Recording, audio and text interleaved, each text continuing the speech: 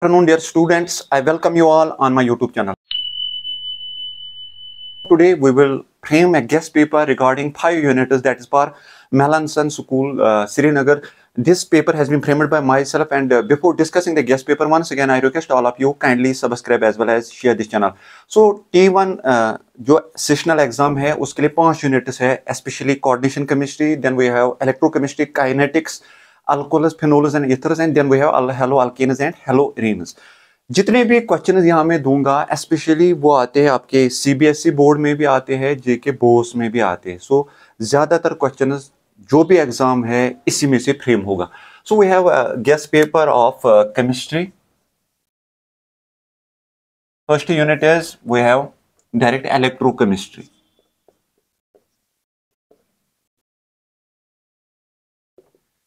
electrochemistry की बात करेंगे, हर किसी को पता है जो महत्वपूर्ण क्वेश्चन इसमें से बन जाएगा दैट इज़ क्रोजन क्रोजन पे आपको ख्याल रखना है काज क्या है और what are the preventive measures कैसे ग्लोबलाइजेशन करते हैं सरफेस कोटिंग करते हैं etcetera etcetera so we have corrosion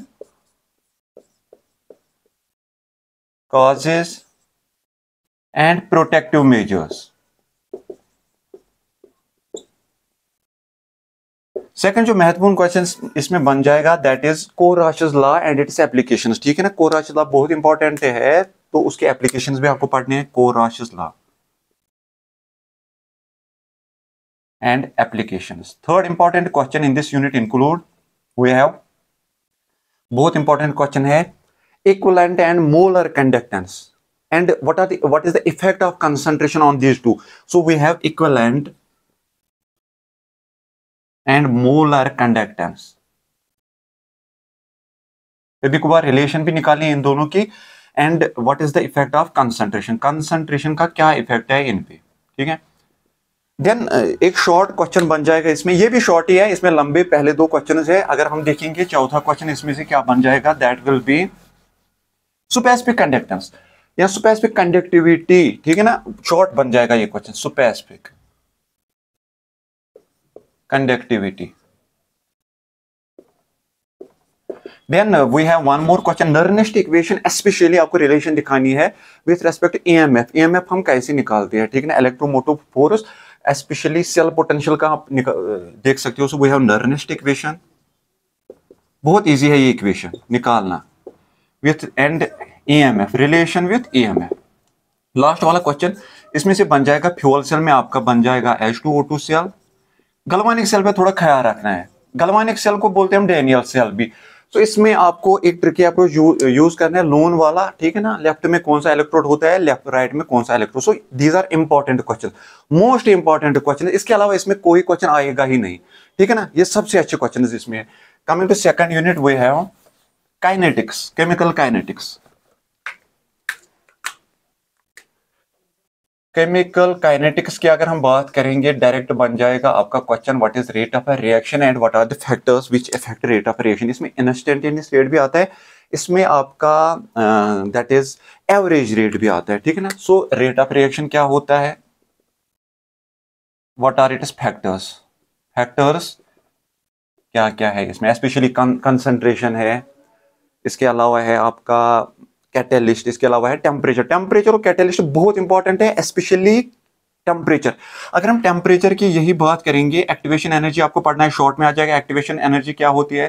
threshold energy आ जाएगी शॉर्ट में, ठीक है ना? Threshold energy and Arrhenius equation Arrhenius equation Arrhenius equation यहाँ से ही बन जाएगा आपका effect of temperature A is equal to A E A by R T P exponential factor and these two are known as Arrhenius parameters यहाँ से ही निकल जाएगा टेम्परेचर का इफ़ेक्ट दिखाना है एक्टिवेशन एनर्जी का इफ़ेक्ट दिखाना है। खत्म वाला ये चीज़। अच्छा half life period specially zero और फ़र्स्ट ऑर्डर का आपको दिखाना है।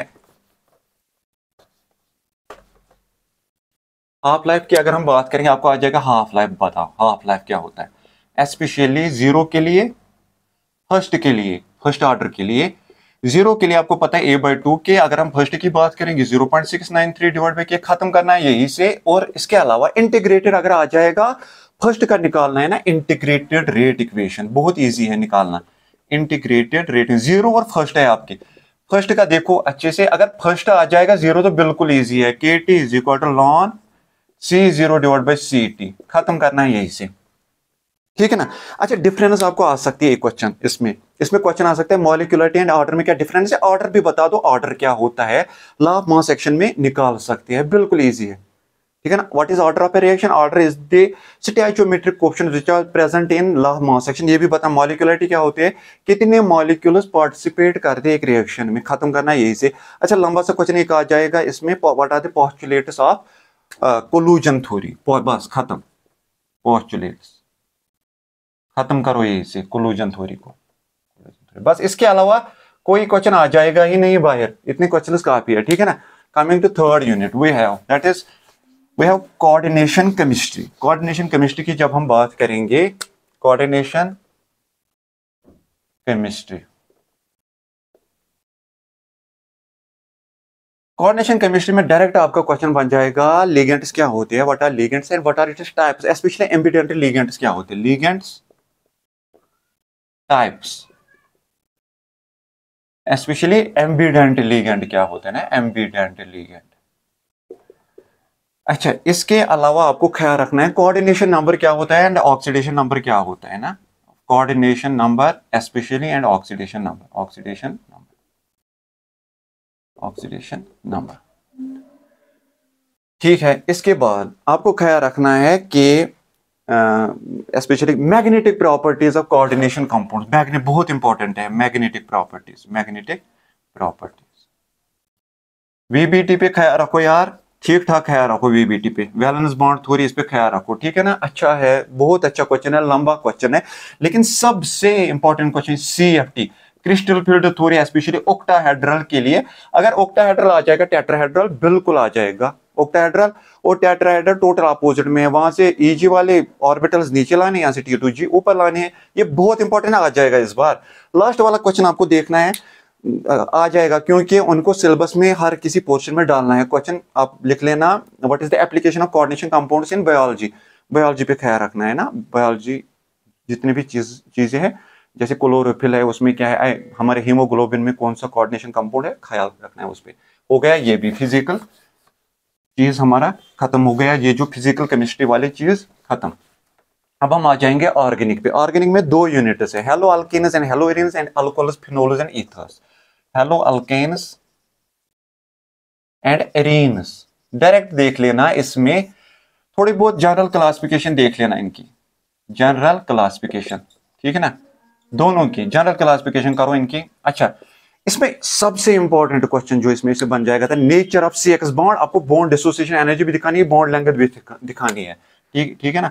Nature of C X bond C X bond nucleophilic substitution reaction आ जाएगा। चाहे एस एन वन आ जाएगा एस एन टू आ जाएगा, बिल्कुल आ जाएगा ये क्वेश्चन न्यूक्लियोफिलिक सबस्टिट्यूशन रिएक्शन इसमें क्या क्या बनता है हमारा? फैक्टर्स बनते हैं एंड केमिस्ट्री बनती है। Chemistry and mechanism mechanism carbocation stability दिखाओ। इंटरमीडिएट क्या बन जाएगा? ठीक है ना? हमारे इंटर इंटरमीडिएट में ट्राइगोनल बायोपैरामिडल बन जाएगा यहाँ हमारा कार्बोकैटायन बन जाए, दिखाना है वो चीज़, ठीक है ना? अब इसमें क्या बन जाएगा? और एक question dehydro halogenation specially Saytzeff role दिखाना है कि सेट्सएप प्रोडक्ट क्या बन जाए? Dehydro halogenation dehydro halogenation reaction ठीक है ना? बेस की प्रेजेंस में एलिमिनेशन रिएक्शन करो। अच्छा आप बना दो ग्रिगनॉट रिएजेंट भी बना दो आर एम जी एक्स बना दो, ये reaction reaction of alkyl halide with metals Grignard reagent बना दो वुटस रिएक्शन करो, बस खत्म। Wurtz reaction to alkyl halide को इन प्रेजेंस ऑफ़ मेटल्स में रिएक्शन करो, खत्म करो ये भी। अच्छा why are arenes haloarenes less prone towards nucleophilic substitution reaction ये दिखाना है, बिल्कुल। आ जाएगा question so why are haloarenes haloarenes पाँच प्रॉपर पाँच चीज़ें हैं जिनसे कंफर्म हो जाएगा haloarenes are less prone towards nucleophilic substitution reaction ये क्वेश्चन बिल्कुल आ जाएगा। सो इसमें से इतना काफ़ी है। अब हम आ जाएँगे लास्ट वाले यूनिट पे।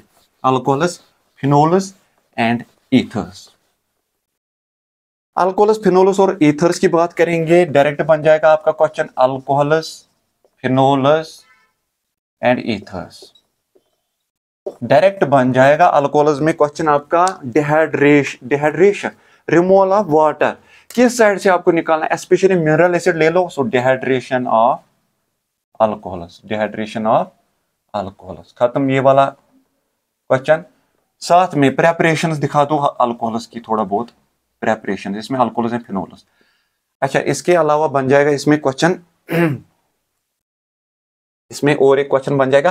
अच्छा आइडेंटिफाई हम कैसे कर सकते हैं? Primary second identification identification test करना है कोई identification of primary secondary and tertiary alcohol चाहे आप ऑक्सीडेशन के थ्रू दिखाओगे, चाहे आप के एम के थ्रू दिखाओगे, ये दिखाना है बिल्कुल।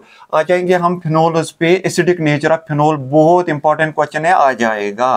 Why phenols are more acidic than alcohols acidic nature of phenol of phenol आपको आ जाएगा question why phenols are more acidic than alcohols clear है? अच्छा इसमें फिनोल्स में स्पेशली इलेक्ट्रोफिलिक सबस्टिट्यूशन रिएक्शन दोनों में इलेक्ट्रोफिलिक सबस्टिट्यूशन रिएक्शन किस किसमें दिखानी है? आपको दिखानी है फिनोलोस एंड ईथर्स में ज़्यादा क्यों है? फिनोलोस एंड ईथर्स में। जो हेलो एरिनस है ना हेलो एरिनस या हेलो अल्केनस उसमें से मैंने एप्लीकेशन भूल गया। फिर पढ़ लेना डीडीटी पढ़ लेना। लास्ट में यूज़ फिर बता देना कि फिर क्या होता है। एफ़ जैसे एफ़ ट्वेल्व वाला फिर इनकी एप्लीकेशन क्या स्टेबल है हमारे ट्रोपोस्फीयर में? लेकिन अगर हम स्ट्रेटोस्फीयर में जाएँगे ना, वहाँ ये रिएक्टिव होते हैं तो फिर ओजोन लेयर को ये प्रॉब्लम करते हैं। डीडीटी में भी एंटी मलेरियल एजेंट है डेंग वगैरह को कंट्रोल करता है। सबसे पहले मुलर ने वो बनाया है 1939 यूजेबल फिर 1948 में उसको नोबल प्राइज मिला है। So this was all about the guest paper of chemistry hopefully you will get maximum portion of questions in your exam. Thank you for your cooperation.